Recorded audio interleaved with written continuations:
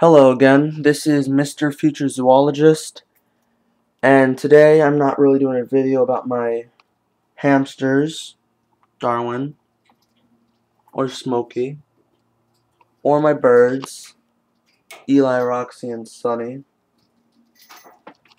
I'm doing a video to tell you, all my YouTube, YouTube viewers, and everyone out there, that there might be a possible new family member coming to my zoo and it would be a guinea pig.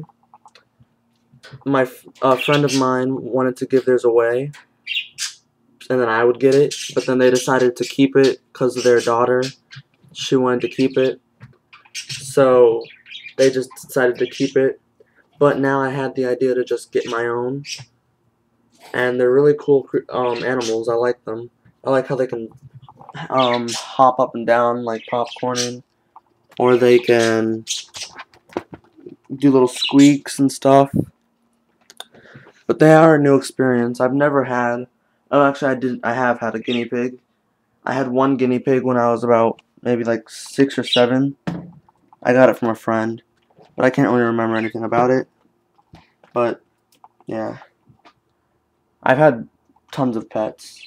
I've had a couple fish, about five turtles, three hamsters, five birds, two dogs, a cat, two hermit crabs, two gerbils. I think that's about it.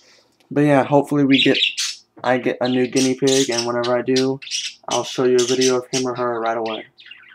Comment, rate, subscribe.